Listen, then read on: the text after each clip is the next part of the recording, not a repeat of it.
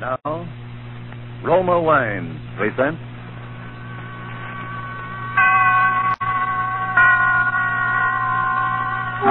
Suspense.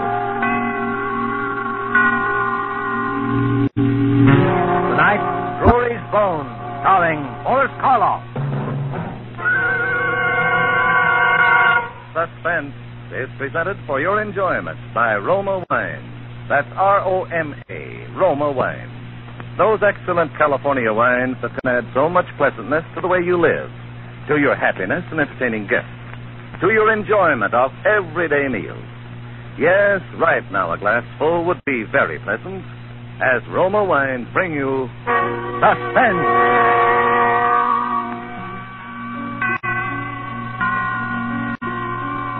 This is the man in black, here for the Roma Wine Company of Fresno, California, who tonight from Hollywood bring you as star Mr. Boris Karloff in the remarkable history of a Scotland Yard inspector who found himself in surely the most ironic predicament ever to confront an officer of the law.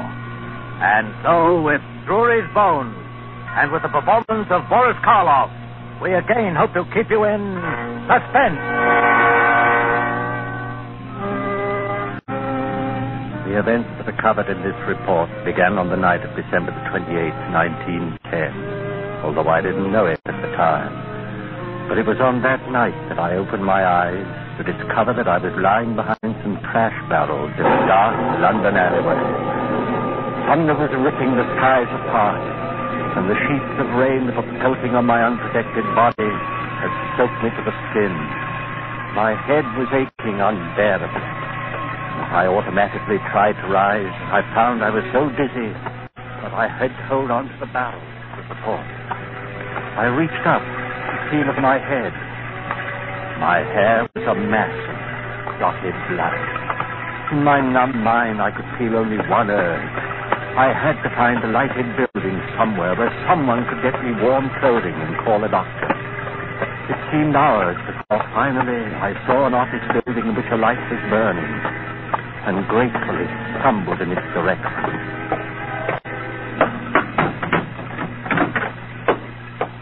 Listen to this, Peters. Uh, it's a report from the. Why, who are you? I beg your pardon. I... Great heavens, man. Uh, come over here by the fire. Here, here, I'll give you a hand. Here. That's it. Uh, good Lord. Look at that head. Uh, Peters. Yes, sir. Uh, you better call the doctor. Right, sir. Uh, let's get some of these wet clothes off, eh? Uh. Easy now. This is very Uh, kind of you. Now, now the trousers. There, that's it. Hmm. Robbed, eh? I suppose so. Suppose. Yes. You see, I don't know. Oh, come, sir, you must know whether or not you had a pocketbook. There's nothing here now, certainly. Nothing. Who are you, by the way? Huh? I say, let's have your name. I'm. My name is. My name. I don't know my name. I don't know. I must have fainted because the next thing I knew, I was lying on the couch in the office, covered with warm blankets and slowly returning to consciousness. My benefactor and the doctor were talking with hushed voices near the bed. Uh, you say no identification on him, eh? Nothing except these. I found them under his hatband. Hmm. Two ticket stubs, Drury Lane Theatre, December 24th, 1910.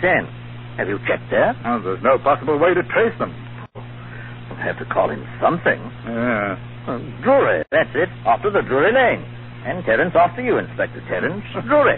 Oh, very well. Uh, how long do you suppose this condition will last? Amnesia? no way of knowing. I should suggest a bit of rest and then some kind of absorbing work. Not strenuous, of course. Mustn't be allowed to brood, you see. Danger in this sort of thing lies in a man's working himself into a genuine psychosis from worry. I see. I, I say, Carruthers, why don't you put him to work here? At least until you locate his family. After all, you can't very well turn your back on the chap now that he's named after you. Well, as a matter of fact, it happens that I could use a new man around here very nicely. Oh, there you are.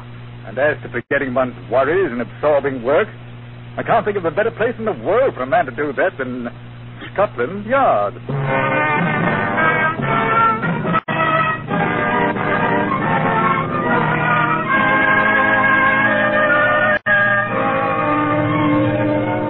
Tonight, for suspense, Roma Wines are bringing you Mr. Boris Karloff, whom you've heard in the prologue to Harold Swanton's radio play, Drury's Bones. Tonight's tale of suspense.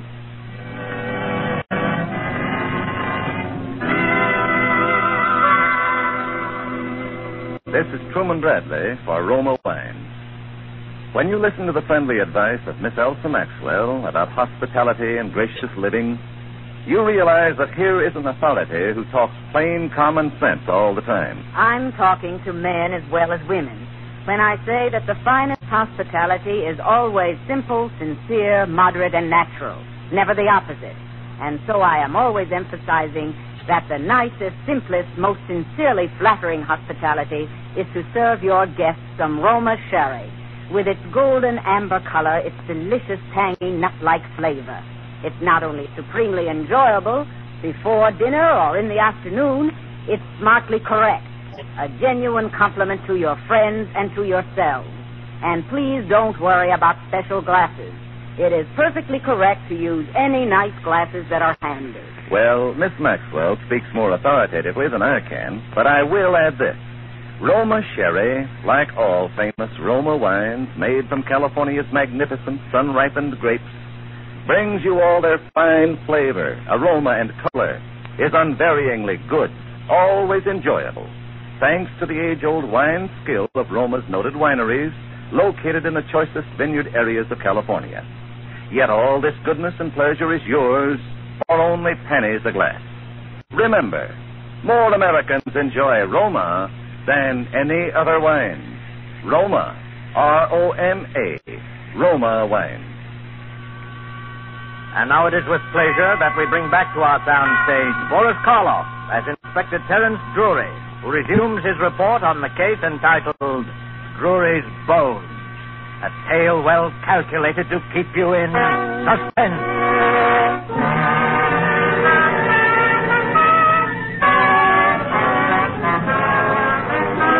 It was an amazing stroke of fate that brought me to the London office of Scotland Yard on that dreadful night of December 1910. For I'm sure that nowhere else could I have had more kindness and understanding.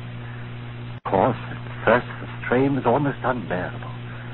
I had absolutely no recollection of my past. I had no idea who the man was who lived the first 30 years of my life. Or was it 40? Or 20? I never knew.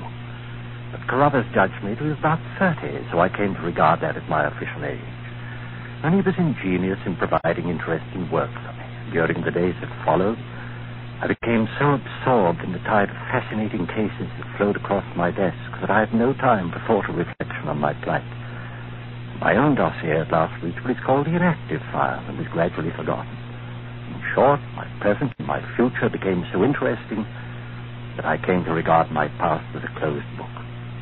And so it was, as a full-fledged inspector, I reported one day in May of 1930 to Chief Inspector Carruthers. Oh, hello, Drury.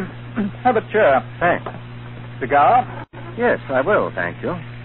Hmm, Havana, eh? Decently prosperous for a Scotland Yard man, Inspector. Sure you're not involved in a scandal of some sort? I'm sorry, old boy. Gift from my niece. Have a light.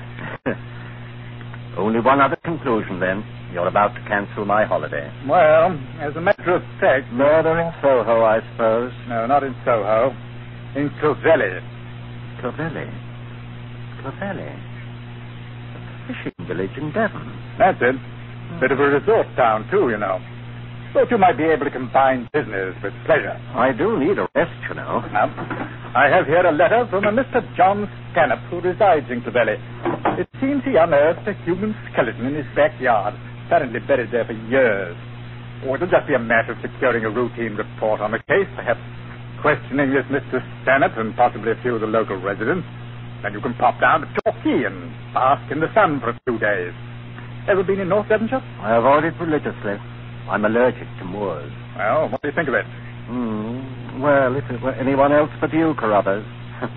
I suppose I'd better write this all down. John Stanhope, right? Mm-hmm. Do you have his address? Oh, there's no such thing as an address in Clovelly. There's only one street. You won't have any trouble finding it. Oh.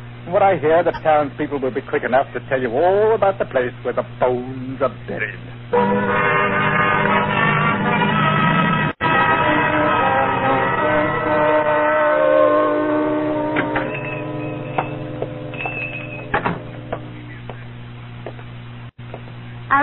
Sir? Welcome to Clovelly. How do you do? My name is Drury, Scotland Yard. You'll want a single architect. Yes, if you have one. Uh, just sign the register, please. Very well. There. I understand that Mr. John Stanhope is to leave a message here for me. Oh, you must be here about the bones. Yes. Some excitement they've caused, I'll tell you. What with the Ashley Norton's disappearance, a dark mystery these 20 years and all. Who were the Ashley Nortons? Lived in that house 20 years ago, they did. That would be just about the time the body was buried, wouldn't it, sir? Yes. Did you know them? Never did see her. Saw him once or twice.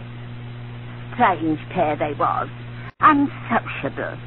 Keeping themselves to themselves night and day in that house on the cliff. No telling what went on behind them doors. What do people think went on? There's some that thinks that what went on was murder. Murder? Why? There's those who knows the reasons better than I. I'll leave it to them to tell. Very well. Let's see. Uh, I find this book too, don't I? Oh, no, sir. That's our permanent register for new guests. But you've been here before. I? Why, no. No. I, I've never been here before in my life. Oh, that's odd. For a moment, I thought I'd seen you here before sometime.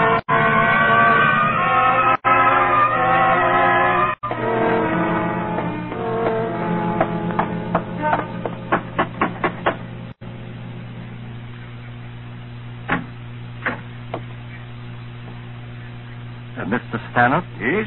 Inspector Drury, Scotland Yard. Oh, happy to see you, Inspector. Come in, please. Thank you. I uh, must apologize for the condition of the place, Mr. Drury. The events of the past few days have been uh, a bit upsetting, to say the least. I should think so. Uh, like a spot of sherry? Why, thanks, yes. I had rather an enlightening conversation with Mrs. Tumley at the inn last night. Huh? Seems the townspeople are quite certain it was a case of murder involving some people named Ashley Norton. Yes, yes. Uh, Roger Ashley Norton. His wife is named Sarah.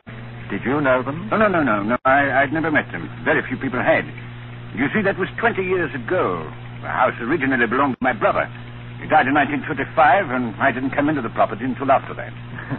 I know it's natural to jump to the conclusion of murder when one uncovers uh, human bones, but uh, is there any reason to suspect a motive? Did anybody disappear suddenly? No one but uh, the Ashley Nortons. I see. There's nothing to go on but gossip. And it's all highly circumstantial, of course. Ah, You see, my brother was renting this house to them furnished by the year, payable in advance. And so he rarely had occasion to call on them. But when the regular check failed to arrive on time, he paid them a visit. The house was vacant. And it was immediately clear that no one had lived in the place for the last few months. hmm. Your brother made inquiries, of course. Oh, yes, yes. No one had seen or heard from them for at least two months before. And what date was that, Stanhope? Oh, now let me see. Uh, that was uh, uh, December of 1910. I'm sorry. Oh, it's quite oh, all right. let me. Uh, No, no, no, no, no. The maid will attend to it. Uh, let me get you another. Not right now, thanks. Well, would you like to examine the garden? The garden. Yes. Where the bones were discovered. Oh. Oh, yes, yes, of course. Out through the French windows. Here to the side, I take it. Yes. Uh, here, here we are. Uh, just over here, Inspector. See. And the tree stood about here, eh? The what? The holly tree. I, I must admit you're a jolly fine detective, sir. The gardener discovered the body while removing the dead holly tree, all right, but I, I wasn't aware that I mentioned the fact to Scotland Yard.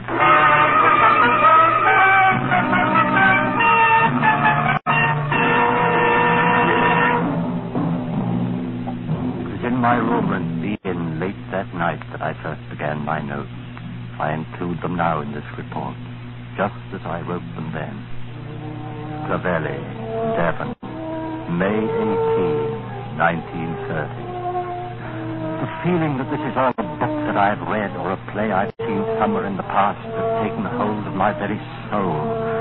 And the terror that grips me when I think of the future makes rational thought very difficult. Nevertheless, I have resolved to pursue the investigation until I am certain that there is no further doubt. I must discover someone who knew Ashley Norton intimately. His profession, his habits, his personality. I think I must risk tomorrow another talk with Mrs. Tumley. But meanwhile, I shall withhold any further report to Carruthers.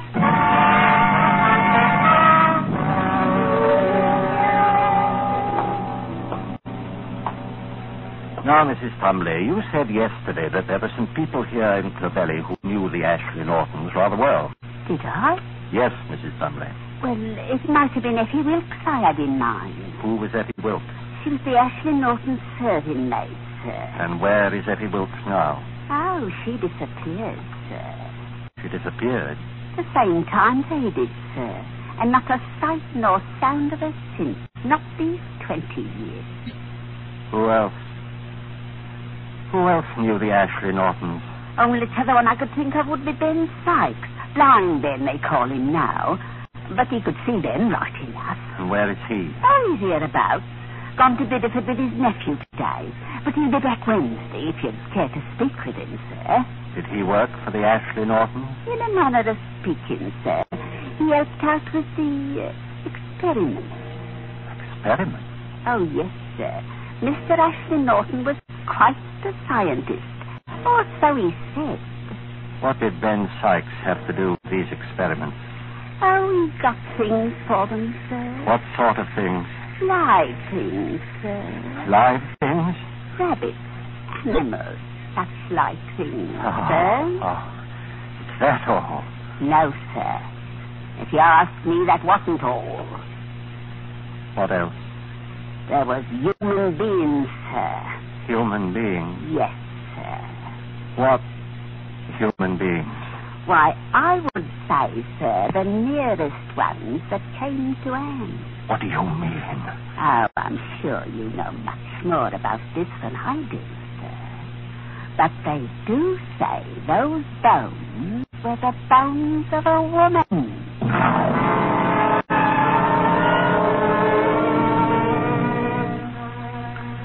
Carruthers wired today that he expects to locate the serving girl, Effie Wilkes, within a matter of hours. That means at least that she's alive. And it also means that her testimony will complete the case. And I can no longer deceive myself as to the outcome. I don't quite know why I sent Carruthers the information about Effie Wilkes, knowing as I do that I'm endangering myself by that action. Perhaps there's something of which I'm still just a little proud. I'm still primarily a detective. Well, I shall pursue this investigation impersonally and logically until the very last link in the chain. That link is Ben Sykes. Blind Ben. There's only one fact in which I can take some faint hope. Ashley Norton was a scientist, and presumably a doctor. I can find no faintest memory in myself of any specialized scientific knowledge whatsoever. Well, Ben Sykes' nephew is going over to Bideford today to bring the old man home.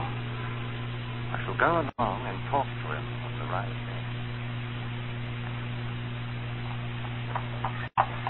So you're Ben Sykes? Aye, blind Ben they call me, but eyes are none. I can keep up with the best of them. What's your business in Clovelly, sir? I've come to ask you some questions about Mr. Ashley Norton.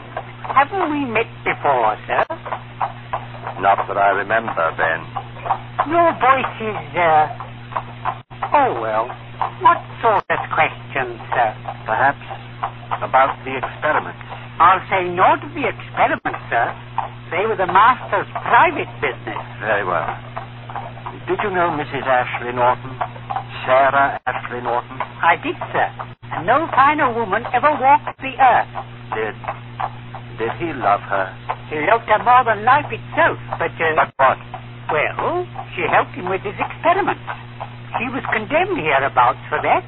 But she helped him all through these long months until... Uh, until she went away. Ida! Look out! We have got the phone. Ida,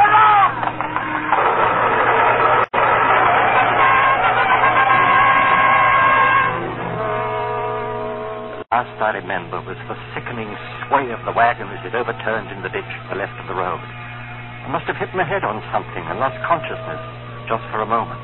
Help me with me. Otto!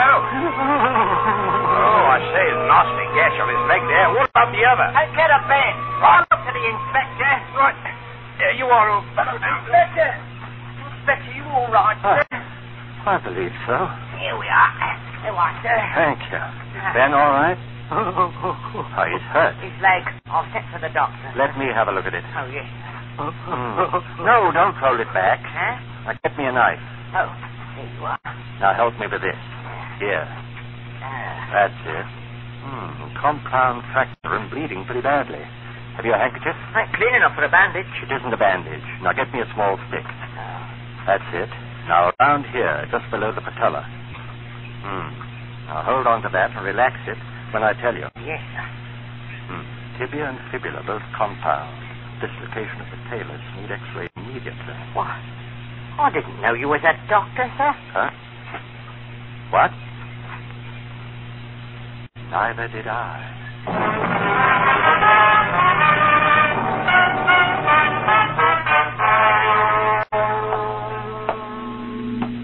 How do you feel, Ben? Much better, Mr. Drury. Thanks to you. She, twitches now and then. He'll be all right once it's set. Lucky you was with us, sir. Ben, you were going to tell me about the last time you saw Mr. Ashley Norton. Do you remember? Yes, sir. I remember it well.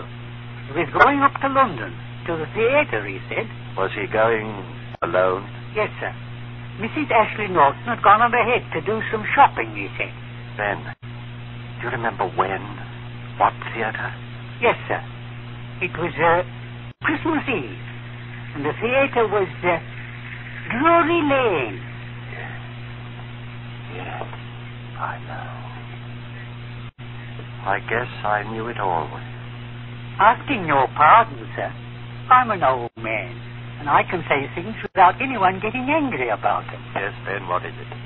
Well then, sir, you seem like a man who's running away from something. Oh. I wouldn't run away from it any longer, sir, if I was you. Then I believe you're the only one of us who isn't blind.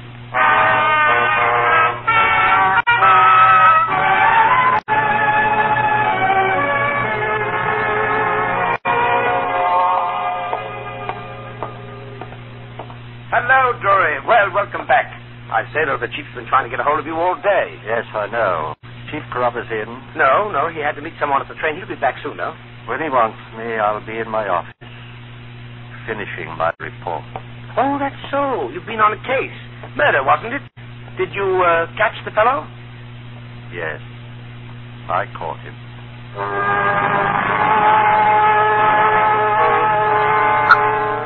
There's little now that needs to be added. Christmas Eve, Drury Lane Theatre. And Ashley Norton went alone, he said, because his wife Sarah had gone on ahead.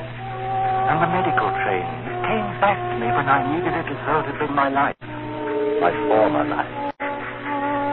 There can be only one conclusion to this report. Sarah Ashley Norton was murdered by her husband. The case is closed. Signed. Roger Ashley Norton, formerly Terence Drury.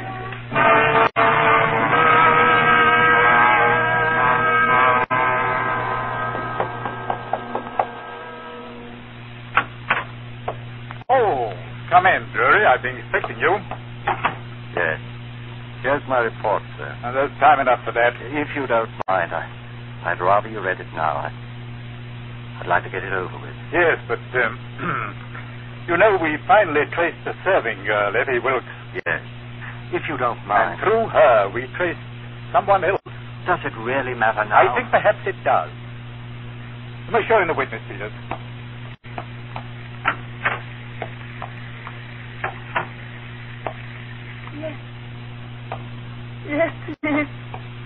Roger. Oh, Roger. I beg your pardon, but who? Roger, don't you remember me? I Remember you? I only remember that you were someone who was once very dear to me.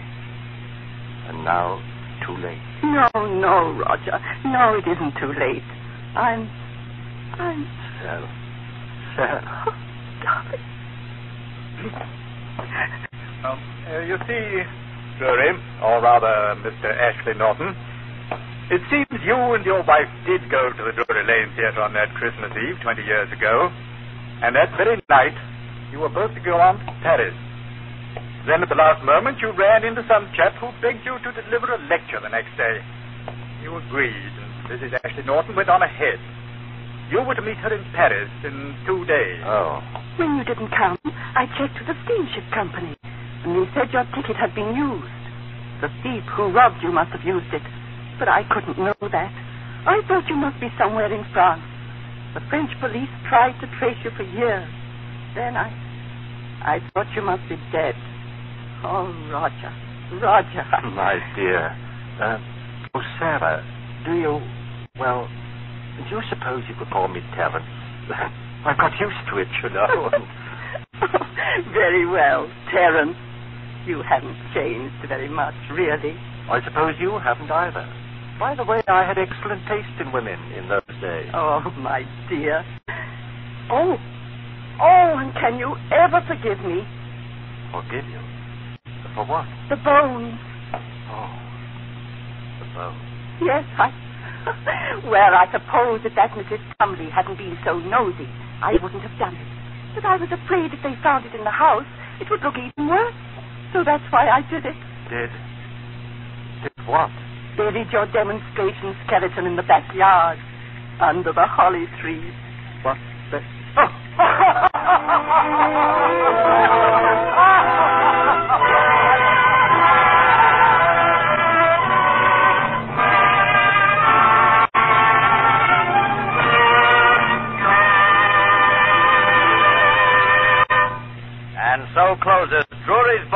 starring Boris Karloff. Tonight's study in suspense. Suspense is produced, edited, and directed by William Spier. There is no reason at all, Elsa Maxwell says, why everyone should not have the enjoyment of Roma wines with everyday meals and when entertaining friends. These superb wines of California are so delightful to the taste, so very delicious with food, so smartly complimentary to friends who are your guests. It seems a shame to me that some people still miss out on such wholesomely simple, moderate, and inexpensive pleasure. But of course, Miss Maxwell, millions already do know and enjoy Roma wines. In fact, more Americans enjoy Roma than any other wines. And that can only mean Roma wines are California's finest, always extra good, unvaryingly fine in flavor and quality, yet only pennies a glass. Roma, R-O-M-A, Roma wines. Next Thursday, same time, you will hear Mr. Joseph Cotten, a star of Suspense. Presented by Roma Wines, R-O-M-A, made in California all enjoyment throughout the world. This is CBS, the Columbia Broadcasting System.